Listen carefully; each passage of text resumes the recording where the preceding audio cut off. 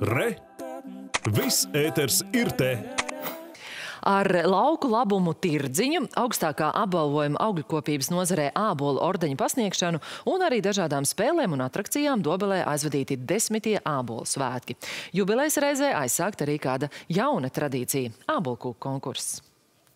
Dobelē jau daudzus gadus tiek daudzināti ne tikai ceriņi, bet arī āboli. Jau 17. gadsimtā pēc kurzemes hercogienes Elizabetes Magdalēnas rīkojuma Dobeles pils augļu dārzā tika iestādīts Borsdorfers šķirnes ābeles, bet 19. gadsimta vidū pirmie augļu dārzi tika ierīkoti arī pie zemnieku sētām Dobeles un Valmieras apkaimē.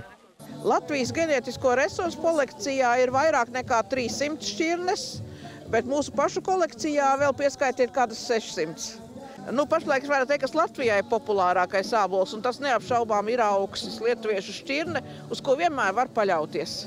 Pirms desmit gadiem iedibināta arī ābolu svētku tradīcija, kurā tiek pasniegts augļkopības nozarē nozīmīgākais apbalvojums – ābolu ordens. Šoreiz to saņem Jānis Zilvers no Siguldas novada, kurš tāpat kā institūta pētnieki ir gandarīts, ka šogad laikā Latvijas augļi ieņēmuši paliekošu vietu arī lielveikalu plauktos.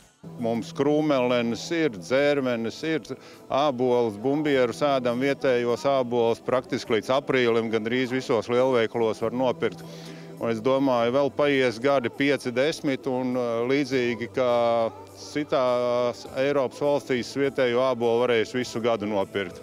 Kā jau ierasts lauku labumus, ābolu svētkos var iegādāties arī tirdziņā, bet mazākie tos iepazīst caur dažādām spēlēm. Vīra brālim augstkalnē ir uh, māja, un uh, tad jau tur, bet tur jau vairāk ome saimnieku un ra, raža vāc. Un tad meitenes tā retāk, bet, nu, ja pieliek pie darba, tad jau dara.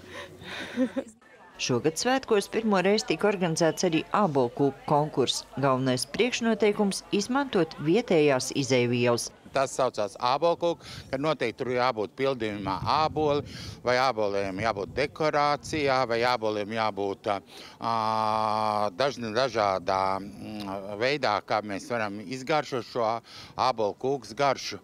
Šoreiz gan zemgalieši bija parādījuši savu introverto raksturu un žūrijai ar visā pasaulē slaveno maiznieku meistaru priekšgalā nācās vērtēt tikai vienu kūpu. Nu jā, kā sagadījās, esmu vienīgā, kas pieteicās, bet es nenokaru degunu, tā kā es noteikti priecājos par to, ka vispār man ir iespēja arī kaut ko tik interesantu uztaisīt, jo ābolu kūkas nebija nekad iepriekš gatavojusi. Un...